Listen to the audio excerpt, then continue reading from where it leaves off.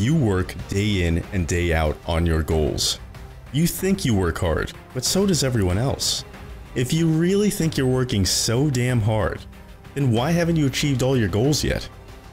It's because you have to work harder. Someone very inspirational in my life gave me very simple advice at a young age. There's always something to do. It's such a simple mantra, but it's what keeps me working hard all the time. Every time you think you can relax, or you've done everything you can do at this time, think again. You can always educate yourself further. You can always look for new opportunities. You can find ways to better yourself. You can find ways to be more productive.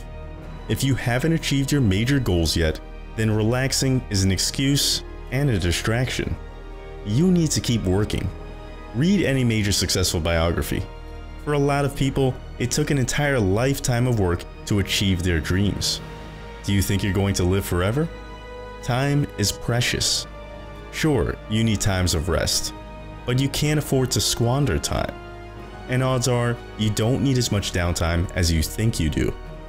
Don't forget about your competition. For whatever job you're trying to get, there are hundreds of people applying. If you're trying to build a business, there's somebody else trying to do the same thing who probably has more resources than you do. The competition isn't going to slow down, so why should you?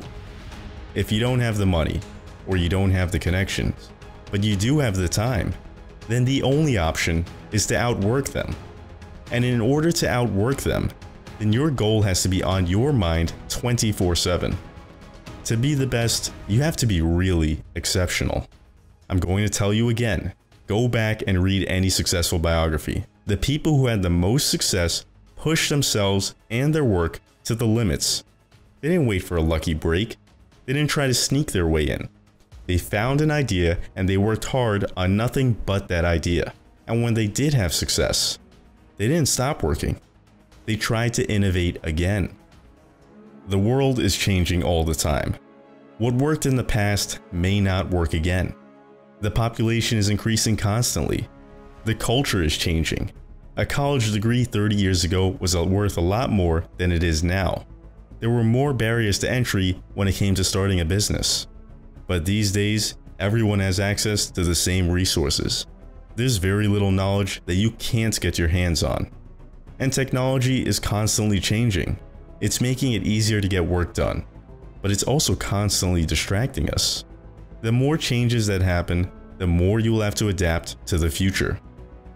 The bottom line is that if you are in a deficit, if you are so far away from your goals that you can barely see them, then you have zero time to relax.